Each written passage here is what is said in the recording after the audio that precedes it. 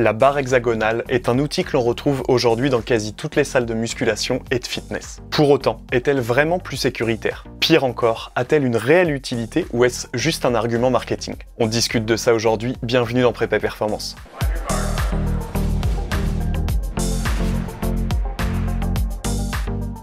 Nous avions discuté de l'intérêt de la kettlebell il y a quelques mois sur la chaîne. Je vous y expliquais pourquoi elle est finalement bien différente d'un halter traditionnel. Si vous n'avez pas vu cette vidéo, je vous invite bien évidemment à aller la découvrir. Nous allons d'ailleurs discuter à nouveau des notions de bras de levier et de moment de force, donc ça peut être le moment de faire une petite piqûre de rappel. Aujourd'hui, l'idée est de continuer cette série avec une analyse de la barre hexagonale. Et de façon assez étonnante, c'est un outil qui n'a pas été extrêmement investigué dans le domaine de la recherche scientifique. On retrouve assez peu d'études, mais qui pourtant sont très parlante. La barre hexagonale est une barre de musculation dans laquelle il est possible de rentrer avec deux poignées de part et d'autre. Vous pouvez également entendre parler de trap bar ou ex bar. Il en existe allant de 15 à 35 kg et avec des largeurs plus ou moins importantes. On parle généralement de short et long bar. C'est un détail auquel faire très attention car il est important d'être à l'aise avec l'écartement de ses mains. Attention alors aux dimensions le jour où vous décidez de franchir le cap d'une telle acquisition. Également, des modèles plus récents proposent différents types de grippes avec des poignées de différentes dimensions ou qui peuvent tourner sur elles-mêmes, etc. Initialement, sa conception avait pour but de travailler majoritairement les shrugs, c'est-à-dire l'exercice principal de renforcement des trapèzes. C'est sans doute pour ça que son premier nom était Trap Bar. Finalement, elle a légèrement changé de forme avec la forme hexagonale que l'on connaît tous aujourd'hui. Elle trouve son utilité principalement dans la réalisation du soulevé de terre, mais l'on peut également l'utiliser pour de la marche du paysan, du développé militaire, etc. Nous verrons différents exercices possibles plus tard. Pour comprendre la particularité qu'apporte la trappe barre, il faut comprendre les notions de bras de levier et de moment de force. Lorsque l'on pratique de la musculation, l'idée est de contrôler au maximum les contraintes appliquées au corps. Et une façon de contrôler ces contraintes, c'est de rapprocher au maximum les charges déplacées de notre corps. Lors d'un soulevé de terre, plus la charge va être éloignée de notre centre de masse, qui est environ au centre de notre bassin, et plus le moment de force qui se répercutera sur le corps sera important. On cible notamment ces contraintes au niveau des lombaires L4, L5, en compression et cisaillement, ainsi qu'au niveau des hanches. Avec la barre hexagonale, puisque nous serons à l'intérieur de notre barre, la charge pourra être alignée avec notre centre de masse. Le moment de force sera donc réduit. Vous l'avez compris et pour mettre immédiatement fin au suspense, la barre hexagonale a des intérêts non négligeables dans le domaine du coaching sportif et de la préparation physique. Une célèbre étude a comparé la cinétique et la cinématique de mouvement avec barre droite et barre hexagonale. L'idée était de constater les coordinations mises en jeu dans la réalisation d'un soulevé de terre à différents pourcentages de charge de la 1RM. Les résultats sont sans appel puisqu'on peut voir qu'avec la barre hexagonale, le déplacement horizontal est réduit de près de 75% par rapport à la barre droite. Les contraintes articulaires sont donc également nettement inférieures. Bref, on peut penser que d'un point de vue biomécanique, l'utilisation de la barre hexagonale va être intéressante pour de la prévention. Nous y reviendrons tout à l'heure. Mais ce qui est également intéressant, ce sont les résultats de force, de vitesse et donc de puissance à ces différents pourcentages de l'1RM. Avec la barre hexagonale, nous sommes capables de générer beaucoup plus de puissance et ce à quasi tous les pourcentages de charge. Je précise quasi car à 10 et 20%, donc les charges les plus légères, il n'y a pas de différence significative. Ce sera alors un point essentiel à garder en tête pour de la préparation physique et donc un public qui n'est pas forcément spécialisé en force athlétique. Si l'utilisation principale de la barre hexagonale s'oriente sur le soulevé de terre, il est pourtant possible de l'utiliser sur beaucoup d'exercices. Ce peut être un point d'appui intéressant pour des tirages obliques lorsque l'on n'a pas de landmine ou simplement pour du tirage debout plus classique. Évidemment, des variantes de marche du paysan ou encore des mouvements complexes comme des variantes de l'épaulé jeté, des fentes, du développé militaire sont possibles.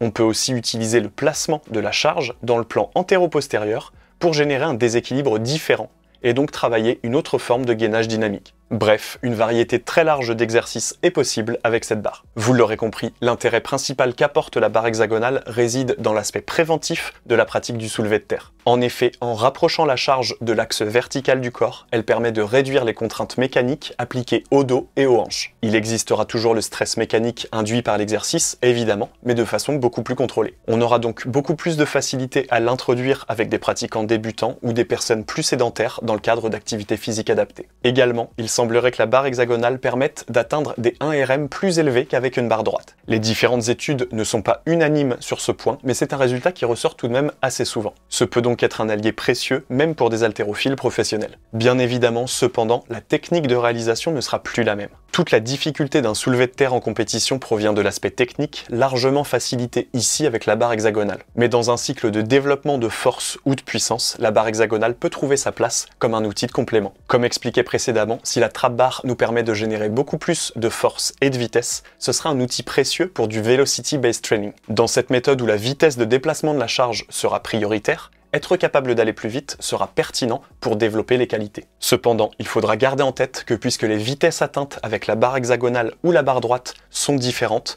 notre profil charge-vitesse sera également différent. Je vous renvoie à notre vidéo sur le sujet pour ceux qui ne sauraient pas ce que c'est que ce profil. En gros, on ne pourra pas utiliser un seul profil pour travailler avec ces deux outils. Il s'agira de réaliser un profil par barre. Il faut bien comprendre, à mon avis, que les débats entre barre droite et barre hexagonale n'ont pas lieu d'être. Pendant longtemps, on a pu entendre beaucoup de critiques à l'égard de la barre hexagonale. L'idée était simple, puisque la technique est totalement impactée, ce n'est pas du soulevé de terre. Je tiens donc à faire une mise au point qui me paraît personnellement évidente, mais qui ne l'est peut-être pas forcément pour tout le monde. Dans le cadre des activités de force athlétique, la performance est directement impactée par la technique de réalisation. En clair, durant la compétition, on n'a pas le choix, le geste est réalisé avec une barre droite. Donc évidemment, la majeure partie de l'entraînement se fera dans ces conditions. Mais ça ne veut pas pour autant dire que la barre hexagonale est une hérésie. Du côté de la préparation physique, la performance finale ne dépend pas de la charge tractée en soulevé de terre. L'entraînement en force un outil au service d'une discipline comme un sport collectif, un sport individuel, etc. On n'a pas du tout les mêmes niveaux d'expertise face à la musculation et l'haltérophilie et pas non plus le temps de la développer. Si l'on peut donc légèrement modifier la technique pour travailler en sécurité et générer plus de vitesse et de puissance,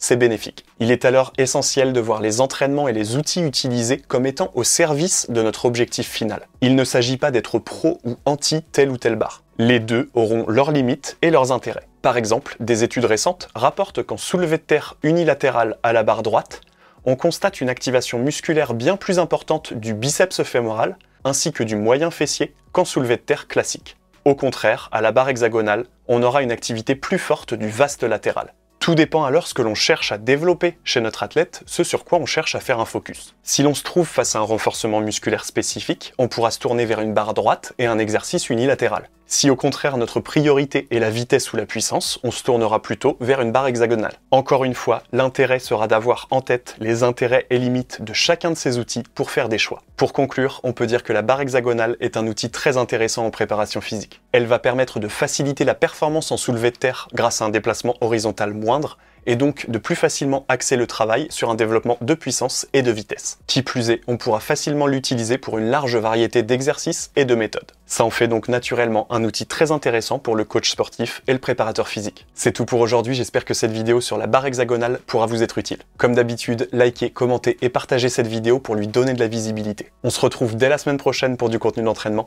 et d'ici là, entraînez-vous bien. Salut